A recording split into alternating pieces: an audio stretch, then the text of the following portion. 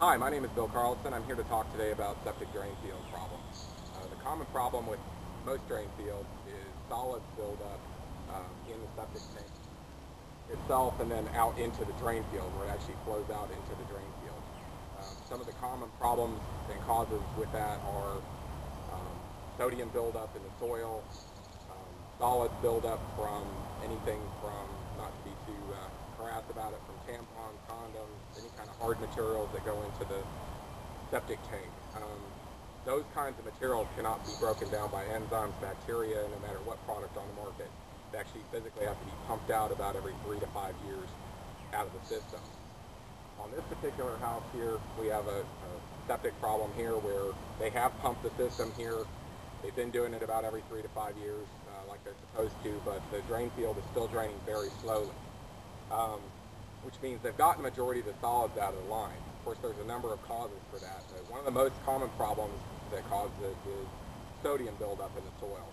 This comes from uh, hard soaps like bar soaps, um, any kind of liquid soap, detergents, um, dish soap, any any kind of uh, soaps out there, and even bleach causes uh, the drain field to what we call hard or dead pan, which means these lines that are running in the field here actually physically the dirt surrounding them, the sand, the soil, the rock and gravel that they put in to allow for the drain field to leach actually binds up from this sodium buildup. In an average house, uh, there's about 60 some odd pounds a year. This is a 50 pound bag of salt here, just to give you an idea. This is going into the soil and actually causing it to lock up and, and make it where the soil dead pans and can't accept any more water into it. Our product, uh, septic flow here, um, we basically take this product and pump it into uh, both for a five gallon pail here for this size of house, which has about a thousand to 1500 gallons septic tank. We'll take about two and a half gallons of this product and dump it straight into the uh, sink or in, into the toilet, flush it into the system, maybe run a little bit of water behind it. Uh, then we're going to take about two and a half gallons and pump it physically out into the drain field using kind of a modified uh, drain field pipe here. Um, we used to use a, a, product where we actually could physically uh, step on it and inject it into the field. The problem is for the average consumer homeowner, they cannot um, afford to spend the $200 that one of these spikes cost. So what we've done is we just basically taken a brass um, pump sprayer here and we're going to basically take our, you can use any old home pump sprayer here and take this part off of here and then apply this brass one. And the reason we're using this brass one is because it actually is easier to push down into the soil. And we're going to fill our pump sprayer here, which this is just any old pump sprayer. You can use anything you have. Just make sure it's very clean. Thoroughly flush it out with water. And then we're going to add the product. So because we've already, on the interior of the home, we've already um, are going to treat with two and a half gallons, today I'm just going to demonstrate how we do this into the septic field.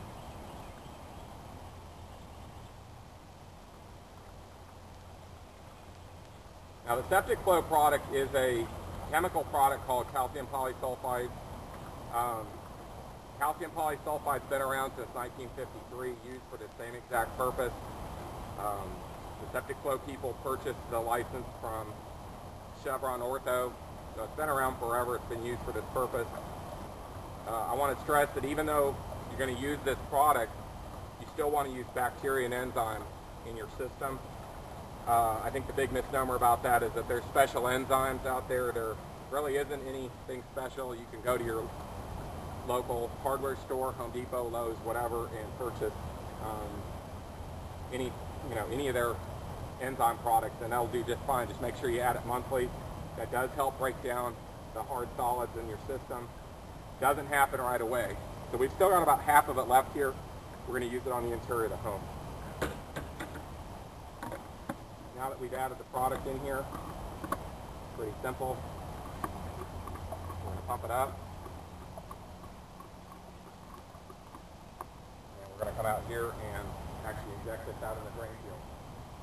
The typical drain field, here we can't see it too well because it's not flowing. And normally if this is flowing well, you'd actually see green lines in the field. But because it's not, we know where it is because we found it by pushing, you know, uh, steel poles into the ground to actually find the field. So we know exactly where it is here. So we're going to go ahead and just start injecting it. We're going to push this down probably about as far as we can get it into the soil. Wait four, five, six seconds, and then move on about uh, eight to ten inches or so down the drain field until it, we're done. Then if it's not going to rain for the next few days, we'll probably water it in tonight a little bit just to get it down in the soil. And then um, we're going to have to just be patient, wait uh, the next two, three weeks, see how, how we do. So I'm going to go ahead and start.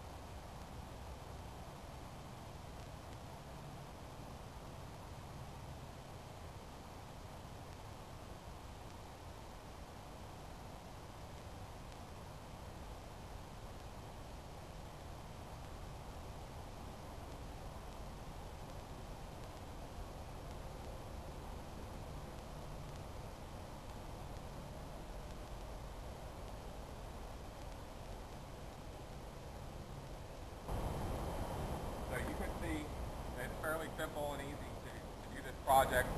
Anything anybody can do at home. You don't have to spend a lot of money to do it. And uh, you feel free to email me. My name is Bill, uh, and at info at septicflow.com. I'd be glad to answer any questions since I'm out in the field a lot. Thank you.